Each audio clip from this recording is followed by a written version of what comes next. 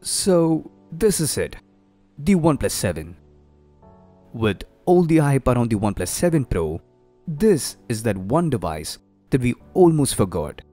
And on the other hand, the people who are considering to buy the OnePlus 7 has this serious doubt on whether this device is just another minor improvement over the OnePlus 6T. The answer is yes and no. We already know that the OnePlus 6T was an amazing smartphone. And being the straight successor, the OnePlus 7 has this abundant responsibility of living up to the legacy of the OnePlus 6T. Even though it feels like a pretty small update, there is still a lot to talk about this device. From the camera, the beautiful glass design, the brilliant 60Hz display, to the big battery. Now, talking about the design, the OnePlus 7 looks and feels extremely elegant. Even though it looks great, you might have this feeling of being extra cautious. I had this high adaptability factor of shifting to a 6-inch smartphone as a daily driver. This was a pretty hard decision for me, considering that I've always been the small phone guy. In fact, I have waited so long for the OnePlus X iteration, which I'm not seeing to happen any soon. So further couldn't wait to jump into the OnePlus ecosystem. Till now, no regrets. Just adapting to a larger phone was quite hard. The device is extremely slippery with its glass mirror back. Also to add on, the OnePlus 7 has a Gorilla Glass 5 protection on the back and a Gorilla Glass 6 over the display.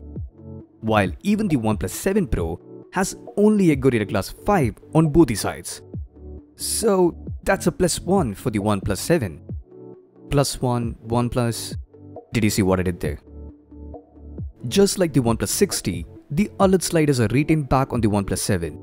If you look closer, you can see a small difference in size of the button.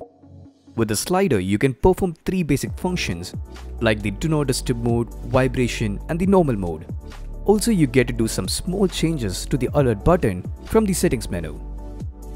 Unlike the OnePlus 7 Pro, the OnePlus 7 retains the teardrop notch, although you can still hide the notch if you don't want it. Up there you have the front-facing camera, proximity sensor, bigger and better earpiece. And once again you do get the stereo speakers like the OnePlus 6T. But somehow, these speakers have got so much better. The grill is slightly bigger, louder, and doesn't even distort at the highest volume. Even though the OnePlus 7 holds the Optic AMOLED 6.4 inches display like the OnePlus 6T, I was straight away able to notice some major leap in color reproduction and so on. It's bright and has this nice depth to it, although it is less vibrant. But this was all cool until my dad had to get a Samsung near the OnePlus 7. Damn. The AMOLED displays on Samsung devices are undeniably brighter and somehow even better. Now coming back to the OnePlus 7, it has a decent bright display and is effectively viewable under sunlight. The device casts a full HD Plus display with 402 pixels per inch, although the screen on the OnePlus 7 Pro is on a whole new level. Make no mistake, the OnePlus 7 still has a beautiful display. In fact, it has one of the best displays when compared to the other smartphones from the same price range. When the OnePlus 6T first came out, it definitely had the fastest in-display fingerprint scanner, but that's not the case anymore.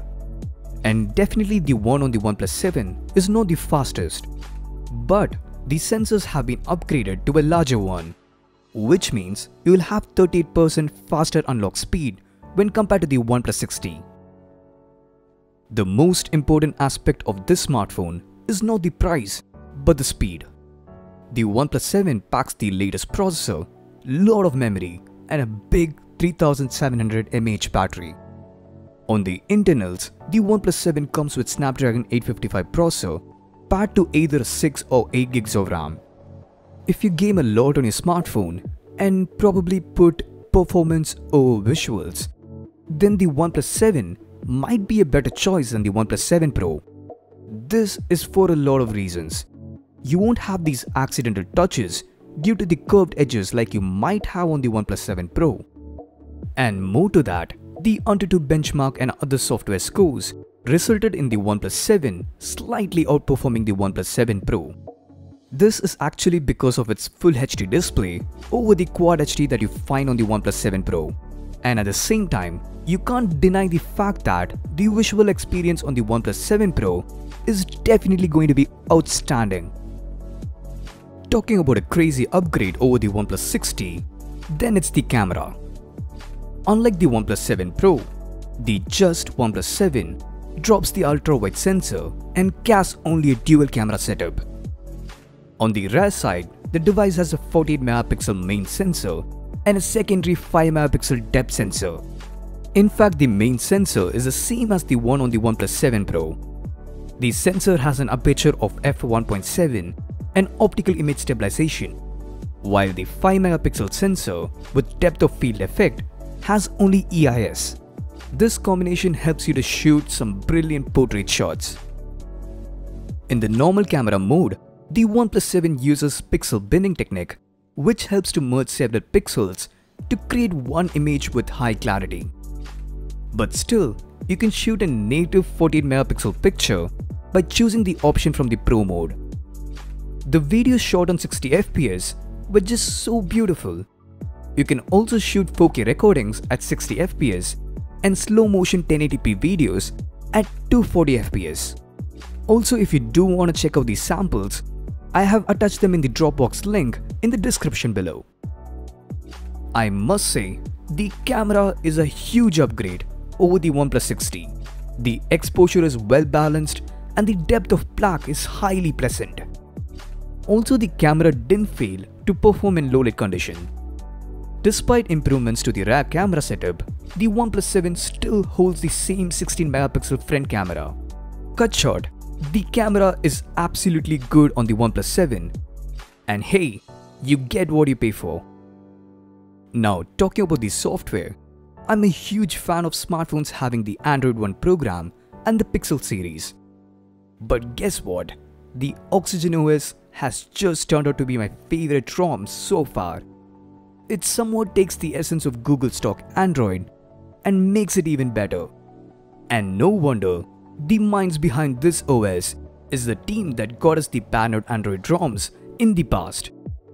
There are some super cool features about the Oxygen OS 9 that are worth mentioning, like the game mode, which enhances the performance and tends to boost your network for some flawless online gaming.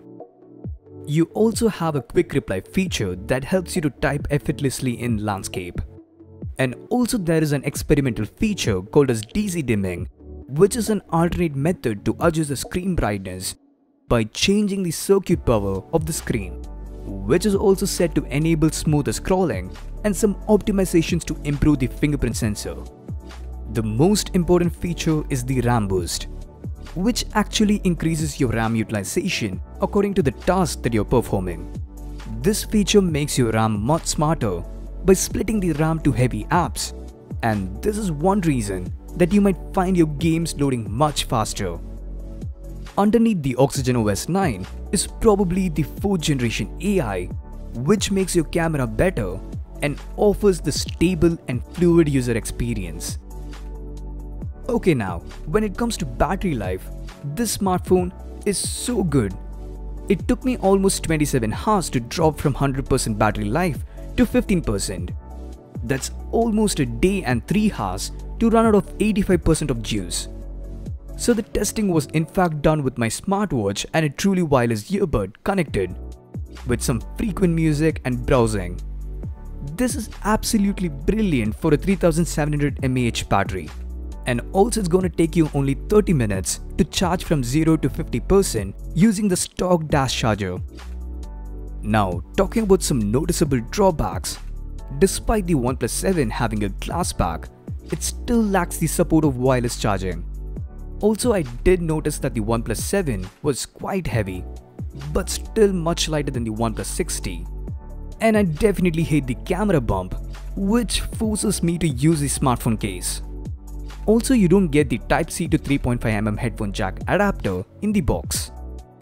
On the brighter side, it's also said that the OnePlus 7 doesn't have a motorized camera, which is why it is a bit more resistant towards water when compared to the OnePlus 7 Pro.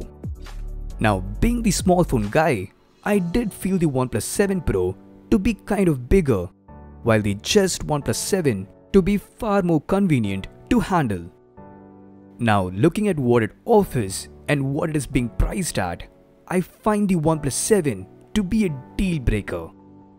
I really don't know how people miss this amazing device. Maybe it's not marketed well, or maybe the OnePlus didn't want people to get deviated from their flagship, the 7 Pro. If you're looking for a smartphone at a competitive pricing and also have the best of tech, then the OnePlus 7 is a great choice. Either way, thanks for watching. Yours truly Droid Sector, ours truly, this life.